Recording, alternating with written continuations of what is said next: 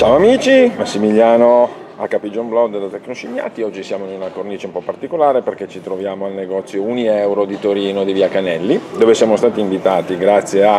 alla gentilezza di Rita, Rita Duranti, per una seconda presa di contatto dopo quella che avevamo a Barcellona con il bulgaro del Nokia Lumia, non Nokia, pardon, Microsoft Lumia 640 XL, un eh, telefono, un phablet praticamente, molto molto interessante che per il prezzo a cui è proposto, siamo abbondantemente online sotto i 200 euro e qui intorno ai 100, 200, eh, caratteristiche molto interessanti, a partire dal display da 5,7 pollici, ve lo ricordate l'avevamo già visto in Barcellona, eh, HD 1280x720 e connessione LTE. Questo phablet di Microsoft fa della parte fotografica la sua caratteristica principale. Ci troviamo con una fotocamera posteriore da 13 megapixel e se riesco a farvela vedere messa a fuoco dalla fotocamera vedete con lenti Zeiss, caratteristica dei Lumia alto di gamma e prima di loro dei Nokia, con un flash LED e già che ci siamo vediamo il retro in policarbonato e l'altoparlante posto sul posteriore. Eh, ci troviamo di fronte a un telefono abbastanza importante, si parla di 171 grammi, che non sono proprio pochi, ma per il bilanciamento delle, del, del, dispositivo direi che non è molto fastidioso manovrarlo. 157,9 mm, 81,5 per soli 9 mm di spessore. Tra l'altro vi faccio vedere da questa parte l'unico lato, vi chiedo scusa per le luci ma come avete sentito non sono a casa, sul lato destro del telefono il bilanciere del volume e il tasto accensione, blocco e spegnimento.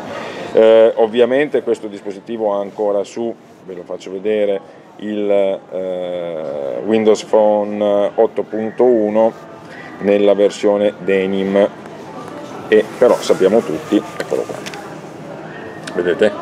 Sappiamo tutti che è uno dei telefoni eleggibili per essere aggiornato immediatamente a Windows Mobile 10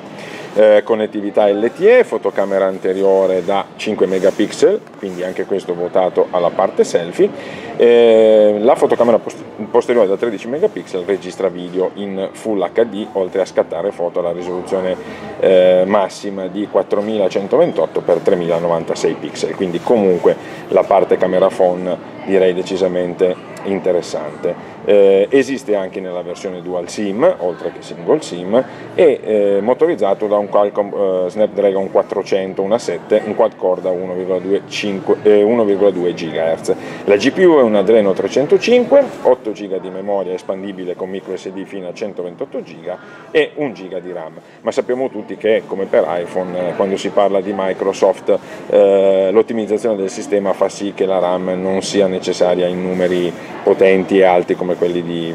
di Android. Devo dire un display, io adesso l'ho messo alla luminosità massima,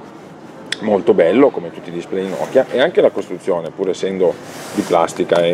decisamente di buona qualità, non scricchiola. Lo vediamo, molto molto pulito design, sulla parte superiore soltanto il jack da 3,5 per le cuffie, sulla parte inferiore la presa micro USB per la carica e il collegamento al computer. Abbiamo una caratteristica particolare, voglio farvela vedere se riesco, perché qui sul display, tra, tra il display e la scocca, c'è uno scalino, un po' come succede sull'HTC One M9, che ne facilita decisamente la presa. Eh,